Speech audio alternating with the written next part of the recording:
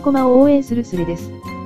前スレステイゴールド産駒応援スレッドパート66。過去ログ1ステイゴールド産駒応援スレッド。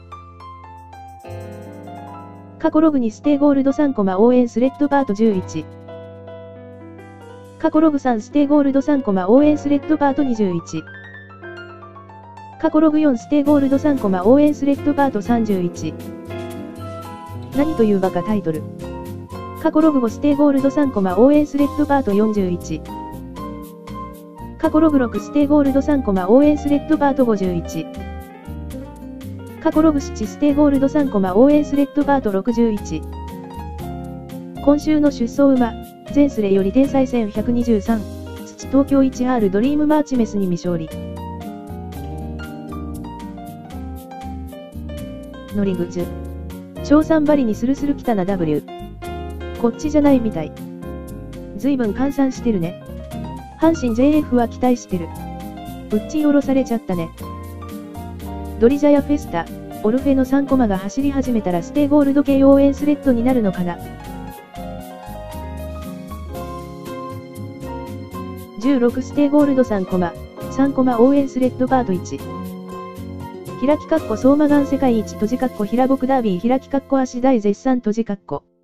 ヨタ話が好きなんだな W。アンカツさん、ゴルシのことで評価なんかな。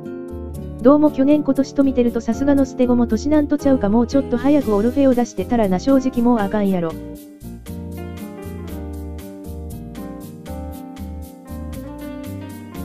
ィントゥモロアー、半濁点すべて半濁点。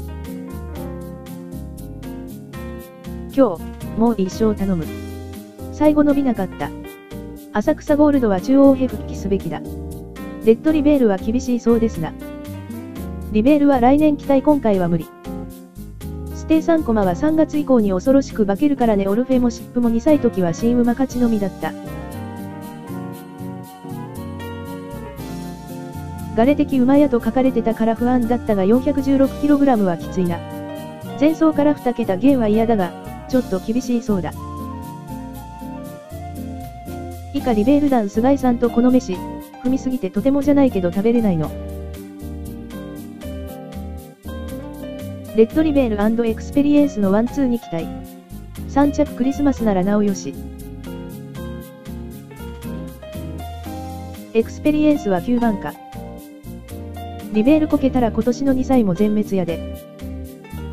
マップ、ゲートナン杉ワロタ W。マップ、レース出れるんか W。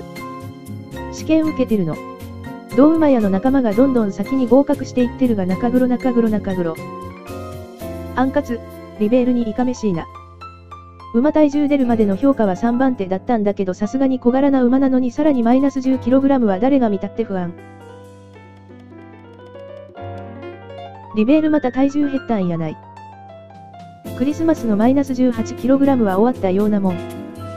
リベール、勝った。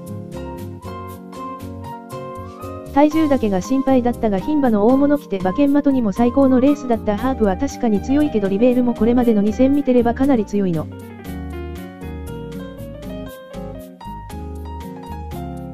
クリスマス何気にハープと同じアガリアン W。リベールもクリスマスも信じてやれんかったな軽く自己嫌親は W。